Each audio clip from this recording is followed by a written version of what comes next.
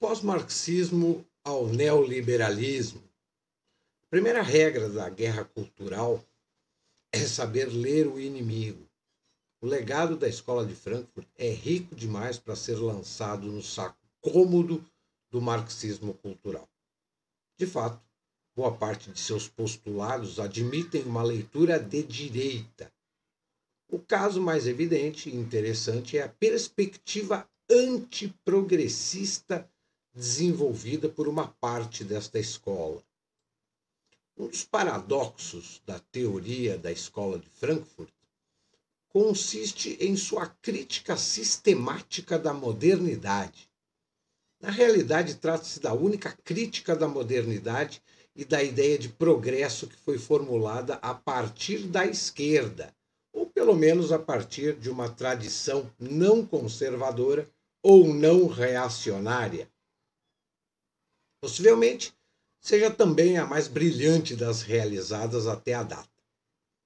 A experiência de Auschwitz e a conseguinte ruína do otimismo progressista são as bases sobre as quais se constrói a obra seminal de Max Horkheimer e Theodor Adorno, A Dialética do Esclarecimento.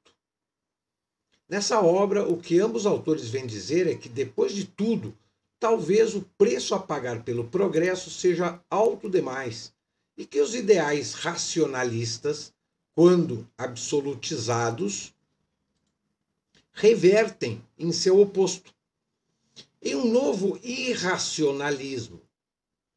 Em seu enfoque crítico sobre o iluminismo, os dois autores rechaçam a narrativa tradicional que enfatiza a revolução das instituições, as ideias políticas ou o progresso tecnológico, e se concentram em uma crítica antropológica. Os danos causados pelo desdobramento da razão instrumental em uma sociedade totalmente administrada, com seus corolários e reificação e alienação da pessoa. A partir dessa perspectiva, o panorama da modernidade e do progresso poderia ser muito sombrio. Há, portanto, na escola de Frankfurt, uma abertura a um certo conservadorismo cultural. Não em vão, Horkheimer assinalava que, assim como há coisas que devem ser transformadas, há outras que devem ser preservadas. E que um verdadeiro revolucionário está mais próximo de um verdadeiro conservador do que de um fascista ou um comunista. Mas aceitas estas premissas, a diferença com uma autêntica crítica de direita é clara.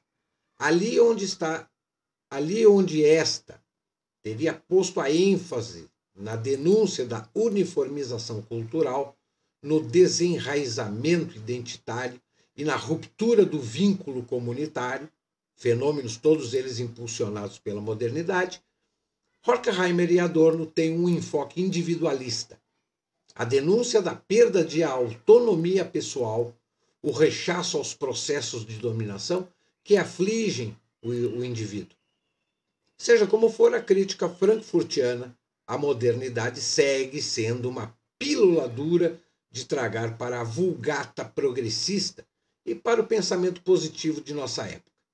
Por isso, continua sendo uma contribuição para todos aqueles que, seja a partir da direita ou a partir da esquerda, desejam acometer uma desconstrução teórica da modernidade, do iluminismo e, consequentemente, do progresso. Mas o gênio do liberalismo consiste em sua capacidade de absorver todas as críticas, sua habilidade de transformá-las em oposição controlada, o êxito da teoria crítica. Esta teoria crítica marcou sua integração nas instituições, algo que os próprios Horkheimer e Adorno já haviam previsto quando assinalavam que, na medida em que uma obra adquire popularidade, seu impulso radical se vê integrado no sistema. O liberalismo descartou a parte mais autenticamente subversiva da escola de Frankfurt. A crítica da razão instrumental, a análise da dessacralização do mundo, a reivindicação dos valores não econômicos, a denúncia do consumismo, o rechaço da mercantilização da cultura, a advertência sobre a perda do sentido, e adotou seus postulados mais individualistas e libertários de emancipação e de rechaço à dominação exercida pela família, pelo Estado e pela Igreja. A dialética negativa desenvolvida pela Escola de Frankfurt serviu assim de instrumento para toda uma geração de radicais americanos e europeus empenhados em uma reconfiguração profunda da sexualidade, da educação e da família. A um nível teórico mais profundo, a dialética negativa se enlaçava sem solução de continuidade com uma geração mais radical e carente dos escrúpulos conservadores de Horkheimer e seus amigos.